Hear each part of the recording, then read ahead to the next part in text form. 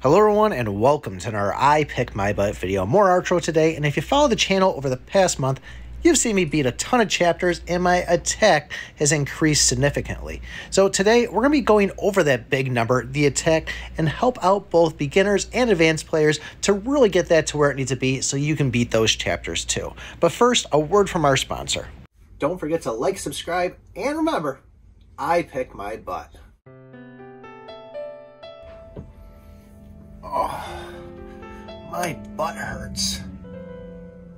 Hello everyone, I Pick My Butt here. You're probably thinking this is an ad for Aleve. But here on the I Pick My Butt channel, we're not about hiding the pain and masking it, but we're about taking that pain and making it not even a thing. So that's why today, I'm proud to introduce to you the eWin Racing Gaming Chairs. Yes, that's right. My butt's been hurting me for a while, and my elbow, it feels like tennis elbow, but now with these chairs, what a world of difference. Wowzers! Where did this come from? Holy cow!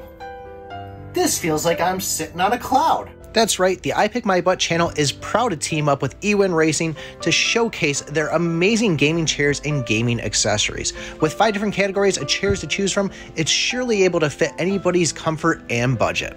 Awarded the best chair of 2021, eWin uses a high durability carbon structural electrostatic powder coating steel frame. Combine that with eWin's hydrolysis resistant 2.0 polyurethane leather, and eWin ultra premium molded cold cure foam, and you have yourself one of the most comfortable chairs on the gaming market. And let's not forget how cool these chairs look. With head and lumbar pillows, hubless casters, and a frame that holds up to 400 pounds, don't worry, if you're over 400, they got chairs for you too. Make sure you click on the link in the description and use code PICK to get 20% off your purchase. And I really got to tell you, I absolutely love that game and chair. Now back to the attack. For most beginner players, you're probably focusing on three things. Upgrading your weapon, upgrading your bracelet, and upgrading your hero. Eventually, all these weapons will unlock a 5% attack increase, and as a beginner player, this should be one of your first goals is trying to get one of these weapons to rare in order to unlock it. As far as you advanced players out there, maybe this might be something that you haven't noticed, but the four original weapons plus the staff and the spear all have a straight across the board attack to them. But let's take a look at the Gale Force. Level 1 compared to level 1, you can see the Gale Force has a starting attack higher than the other weapons. Now let's take a look at the Demon Blade that's pretty much about a third higher for attack damage than the six standard weapons that we're used to seeing. As far as the bracelets, pumping gold and scrolls in them will increase your attack overall inside the game, but take a look at the quick shot and invincible bracelet. Getting these both to epic will unlock a 6% attack increase, which will help out your stats significantly. This makes these two items probably the best bracelets inside the game. And let's not forget the Lion Ring, which is also a great way to get that plus 5% at epic rarity. Now, if you're not struggling with the mobs, slapping a second one of these things on can give you a 10% increase total, and it really does make a difference. But like I said, it's not advised always to run two of them unless you're going in against bosses. For heroes, we all love pumping gold into our main in order to get that level up on to increase the attack, not to mention unlock the levels that will give bonuses for that specific hero and all hero bonuses. But look at the jump right there for increasing in a single star level. Not to mention that each time you upgrade with the chips in order to progress to the next evolution star, you're also going to gain bonuses on there too. And as far as a beginner, you're going to want to try to unlock every single hero there is and take them to either level 20 or 40, whatever that all hero bonus is.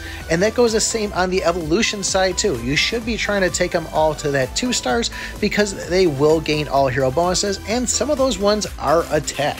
For the advanced players, Ayana, Shade, and Phoren all have attack increases for their seven star hero evolution. Yes, it is going to cost some resources, but if you are able to at least do one or two of them, it could be enough to get you through that next chapter.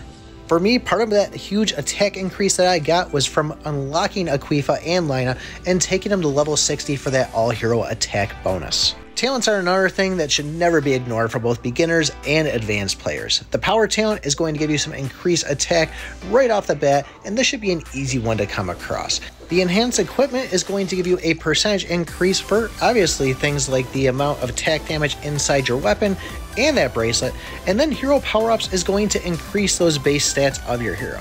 As far as the rune power-up, that could be a difficult one to get at first, but as you level that up, that will allow you to get higher stats by re-rolling your runes. And when it comes to the runes themselves, this is a great way to increase your attack as a beginner player. Not just re-rolling to try to get the stats that you want, obviously the power is going to be a good one, and then the courage is going to be another good one. Both give attack stats to them. But at the beginning, every 20 times you re-roll for either the power or the courage, you're going to gain an additional 20 attack by the rewards. It will go up to 30 eventually, but at 20, you spend 100 runes and you spend 100,000 gold, and bam, there's 20 attack for you. For advanced players, once you've unlocked all the rewards for rerolling these things, you're going to want to go back to the power and try to reroll to get the attack percentage increase and all damage increase. As far as the courage one, that's where you're going to want to go in and try to get the attack percentage and then your hero that you're maining, for me would be Gugu base attack percentage increase by this. When it comes to the altars, this was another thing that helped get my attack that big jump. Unlocking the hero one, which by the way, you have to beat chapter 21 stage 4 to unlock. Getting the ascension on that definitely increased my attack. Now every time you level it up will increase the attack to them, but when you go and ascend them, you do have the chance of gaining attack percentages, hero based stats percentages, and equipment percentages, and all of those will definitely help out. Now moving on to the jewels themselves, this is going to be the other thing to be careful of because we all just want to keep on merging and fusing everything to get the best. Now the Ruby and the Kunzite are going to be the ones that will mainly give us increased attack to them, but obviously filling our level 4, level 8, 16, and 28 stats will give us significant bonuses inside the game. When slotting these jewels in place, we obviously want to get the weapon and spellbook to 16 as fast as possible because both of these will give an attack plus 5%. But we can also slot these inside the first spirit tab and also the locket tab. Another thing to keep in mind too is the bracelet tab. Although it doesn't take the ruby and the kunzite, it does gain a plus 350 attack once you get the slots to level 16. And on a quick side note, I don't have any sources or leaks, but I do smell new gems coming to the game. So if it does happen, just say, hey, I heard it from Pick first. Moving on to the hatchery, the monster book, there's four slots and you should be unlocking all of them with gems. Putting a monster inside will give you those top stats that you see there, and obviously the stars down below, as you increase them, you will gain more stats. Now I throw all the ones with the attack in there, as you can see here. It's just the highest that I have, but ideally the goal is to go and try to upgrade the boss ones, because eventually these bosses at a high enough star level will start giving good attack buffs and give enhanced equipment percentages added to your gear.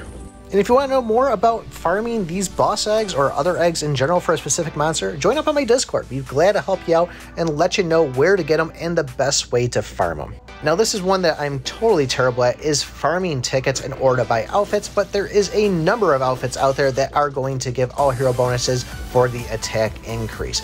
And as far as the shade one, I think it's the Crimson Robe or whatever it is, that's going to be in the Soulstone shop or whatever the PvP one is, the PvP points, let's just call them. Get 3,000 of those, you unlock it for a week, but supposedly after you purchase it, even after that week, you still hold on to those all hero bonuses. So a great way to start farming that. Just be careful with PvP because they do ban people that are not even cheating at the game. So I'm a little bit against it and I've been kind of staying away from it for the most part.